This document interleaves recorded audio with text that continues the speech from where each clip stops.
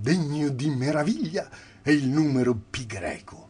3,141. Le sue cifre seguenti sono ancora tutte iniziali, 592, perché non ha mai fine. Non si fa abbracciare 6, 5, 3, 5 con lo sguardo, 8, 9 con il calcolo, 7, 9 con l'immaginazione e neppure 3, 2, 3, 8 per scherzo o per paragone, 4, 6 con qualsiasi cosa, 2, 6, 4, 3 al mondo. Il più lungo serpente terrestre, dopo una dozzina di metri, si interrompe. Così pure, anche se un po' più tardi, fanno i serpenti delle favole.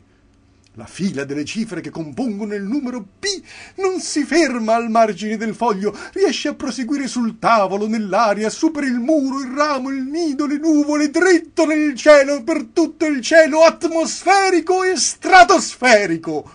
Oh, come corta, quasi quanto quella di un topo, la coda della cometa. Quanto è debole il raggio di una stella che si incurva nello spazio.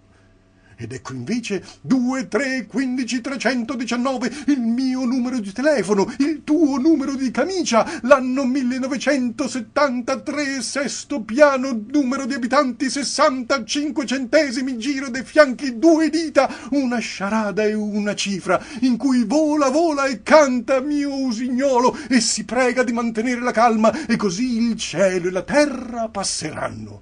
Ma il pi greco no, quello lui sempre col suo bravo ancora cinque, un non qualsiasi otto, un non ultimo sette, stimolando, oh sì, stimolando la pigra eternità a durare